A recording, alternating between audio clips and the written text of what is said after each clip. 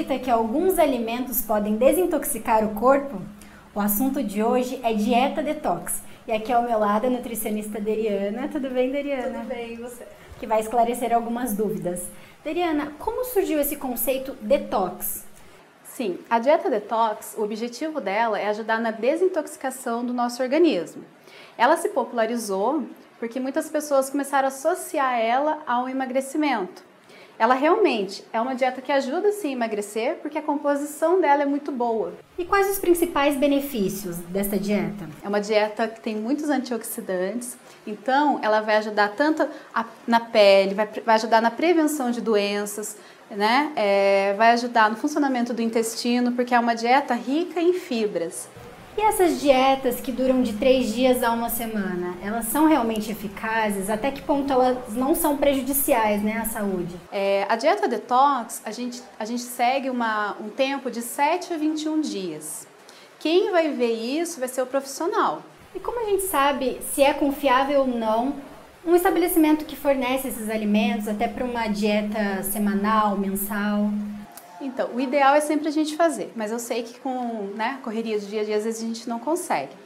Sempre desconfiar se o preço estiver muito baixo, conhecer os ingredientes, ver se esse local ele tem indicação de um profissional ou não. Então, são alguns cuidados que a gente pode tomar. Alguns locais fornecem até os alimentos prensados a frio. Qual a diferença? Então, quando a gente prensa a frio, a gente extrai os nutrientes sem o aquecimento. Então a gente acaba preservando mais nutrientes, porque existem muitas vitaminas que são sensíveis ao calor. E quais os mitos e verdades das dietas detox? Então, acho que um dos mitos maiores é essa associação dela com o emagrecimento. É uma dieta que a gente precisa se conscientizar que ela auxilia no emagrecimento, tá? É, outro mito também é a pessoa que, que, toma o suco verde de manhã e não e para ela já está tudo bem, né? Então ela não acaba não seguindo um plano alimentar durante o dia, então acaba não tendo o efeito de detoxificação. E normalmente a gente associa o detox com alimentação à base de líquido. Isso é real? Só alimentos líquidos, isso não vai, é, não vai atingir as necessidades calóricas, né? E, vai, e não vai trazer saciedade. Então, essa pessoa pode até passar mal fazendo esse tipo de dieta.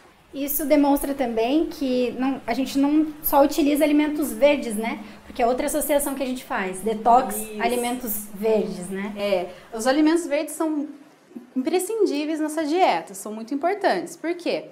É, no grupo do, dos alimentos da, do brócolis, a gente vai achar uma substância chamada isotiacianatos, que eles agem sim na detoxificação hepática. Os vegetais verdes escuros, as folhas como a couve, a gente tem a clorofila, que também atua ajudando nessa detoxificação.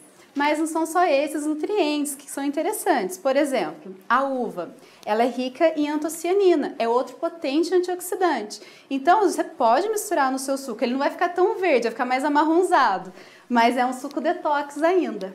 E quais são as principais combinações né, utilizadas numa dieta detox? Depois da couve, a gente, dos vegetais verdes escuros, a gente sempre coloca uma fonte de vitamina C também. Essa vitamina C vai ajudar a absorver melhor o ferro que está nesse vegetal verde escuro. Ela é um potente antioxidante que vai ajudar a proteger o fígado, já que ele é um, um, um órgão que está ali trabalhando né, e se oxidando por conta do, do, do metabolismo intenso que ocorre nele. Aí a gente tem também o gengibre, que é muito utilizado, porque ele é, um, ele é extremamente anti-inflamatório, antioxidante, combate bactérias do nosso organismo.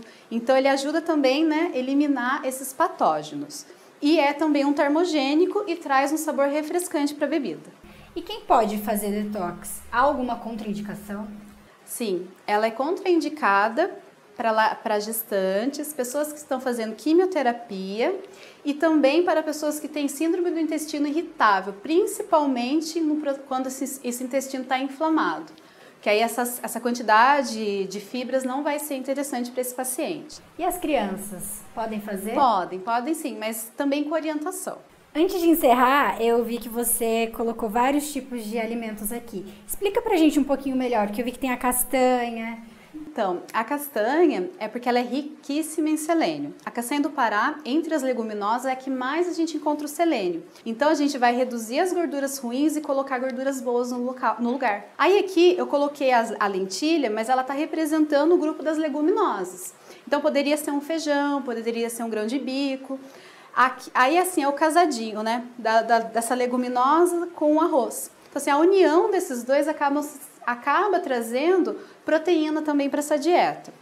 Aí aqui eu coloquei uma opção para vegetariano ou vegano, ou para gente mesmo, porque é super gostoso, é a quinua. A quinua, ela é, uma, é um vegetal, um grão, que é, é extremamente proteico. O que tem de líquido na dieta detox é o suco verde de manhã. E em alguns casos, algumas pessoas também uma sopa à noite. É, é necessário fazer uma, uma alimentação sólida, principalmente no almoço, para a pessoa sentir essa saciedade, né? Então, porque tem pessoa que tem dificuldade em consumir os alimentos verdes, né? A salada. É. Então, o suco pode contribuir para isso também, né? Pra Sim, ajuda. Exatamente, bem legal. Porque às vezes a gente não consome um alimento de uma forma. Aí a gente muda a preparação dela, pronto, né? Parece que fica diferente. Aí eu coloquei essa garrafinha também. Porque se essa garrafinha, por exemplo, foi esquecida dentro do carro, né, ou pegar sol aqui, ela vai aquecer e vai liberar uma substância cancerígena chamada bisfenol. É uma dieta que precisa de líquido para a gente eliminar toxinas, mas se a gente estiver tomando uma água que já está contaminada por uma toxina, né, acaba não sendo interessante. Deriana, muito obrigada pelas informações. muito obrigada. E o Saúde Alternativa de hoje fica por aqui. Até a próxima!